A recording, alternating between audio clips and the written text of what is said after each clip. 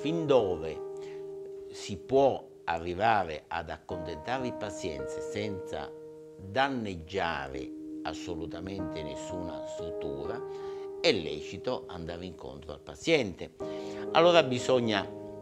la, eh, avere buon senso, saper eh, rapportarsi con tatto ed equilibrio col paziente e cercare di guidarlo. Eh,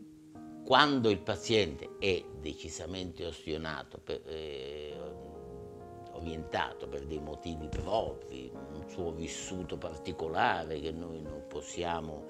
eh, conoscere, non è il caso, come fanno alcuni, secondo me, di dire vai dallo psichiatra, indirizzarlo dallo psichiatra, perché non ho visto mai delle soluzioni del problema in questo uh, modo, ma eh, cercare di entrare nel mondo del paziente per farlo ragionare, aprire gli occhi e scendere a una sorta di compromesso. L'estetica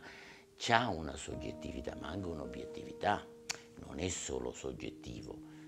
è come tante cose, anche il gusto non è solo, non si può dire me non piace questo e basta. Se io non so, eh, non amo il vino eh, assolutamente prestigioso e mi piace il vino che sta da aceto, vuol dire che non, non mi intendo di vino. Mm, c'è anche un'obiettività eh, oltre la soggettività e così anche nel, nella chirurgia estetica, per cui oltre certi limiti si arriva eh, veramente a, a, ad entrare in contrasto col paziente e il paziente certe volte si perde.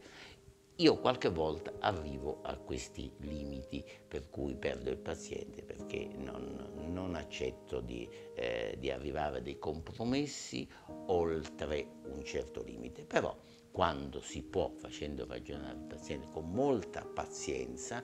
si riesce ad arrivare a un punto comune.